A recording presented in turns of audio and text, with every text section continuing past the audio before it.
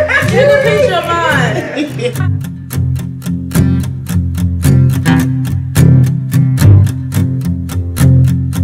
Let's go on a ride, let's go on a ride,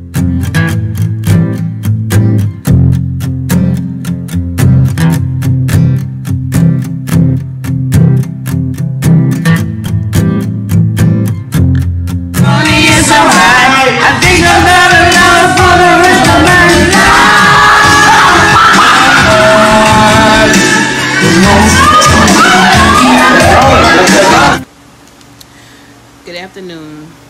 Um, I decided to make a video to tell y'all a little bit about the TJ I knew as a baby sister.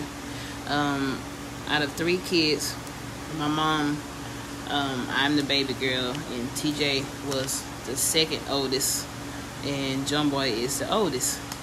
Um, TJ was very protective of his baby sister.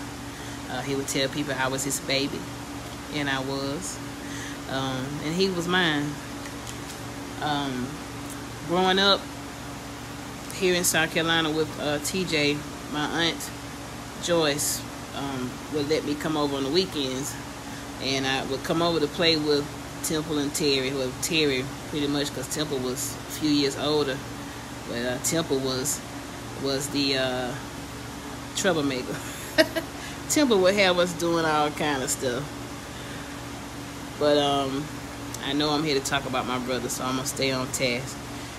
But uh, TJ used to um used to play with with us outside. Me and Terry. He would he would be the cashier, and uh, we would be the people that came to the store, and we would buy turnip greens, and we would have uh, hamburger patties. I mean, we we had a good time outside. Uh, me, Terry, and TJ.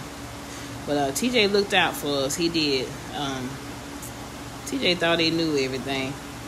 Uh, he he grew up being that way. He um could always tell you something that you already knew, but he would tell you detail from detail.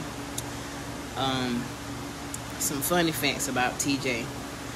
Um, we went to Myrtle Beach one time, and the day that we was getting ready to go, um, the person that owned the the uh, the hotel had came out and told my aunt that uh, one of the young boys had peed in the pool. They just saw him just whip it out and pee in the pool. So of course you know who that was. Oh, Tommy Lewis Curry Jr. um, I remember one time I um my aunt Joyce had a block of cheese in the refrigerator and I had a bad habit of biting things and putting them back.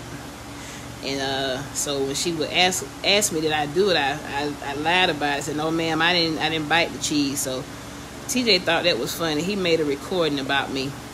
About, uh, nigga, did you eat that cheese? No, ma'am. TJ, did you eat? No, ma'am. Terry, no, ma'am.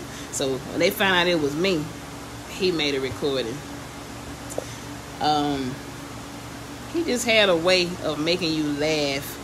Um, we would be talking to him sometimes, and he put in some some earbuds like he didn't hear us, or if we were saying something that was that he thought that was unnecessary, he get out a violin and he'll play it that yearn yearn yearn yearn yearn yearn yearn yearn yearn. That is just crazy stuff, and um, he would make up songs.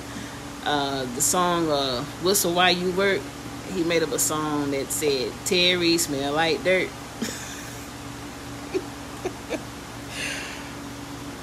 I am um, I'm trying to remember, and I have so many memories um, of my brother that were funny because he would always make you laugh. He would sing this song, uh, "Church folks sitting quiet and still." Something, something, something. What the spirit is, we don't get in the spirit like we used to. And um, he was saying that to make us laugh, and he um would ask me when I would get ready to go to choir rehearsal. He said, "You think they let me sing?" And I said, "Yeah, they'll let you sing." And he'll say, "Um, I found me a choir who will let me sing." He look at me say, "Sing Nidra." so um, we did a lot of singing together. Me, him, and John Boy. We would harmonize. Um, Jodeci, Tupac was his favorite, and his favorite song was I'm ready to go right now. So, um, I have so many memories of my brother. Um, his birthday was May the 15th, and took him out to uh, get something to eat and have a drink, and I think he was already lifted before I got here. So, uh, got him to the bar and bought him a drink, and I left him probably about five minutes. I go back, he was at the bar asleep. But he could remember every woman that was sitting up there, though. he asked me the next day, who was that girl sitting beside me?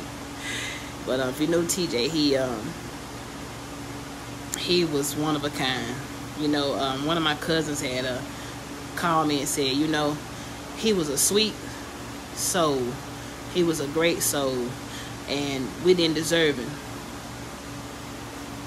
He was right. We didn't deserve him. So um, God did what was best, and he he took he he um took him home. Um, I know my brother is in heaven, so I am overjoyed. I am going to miss him.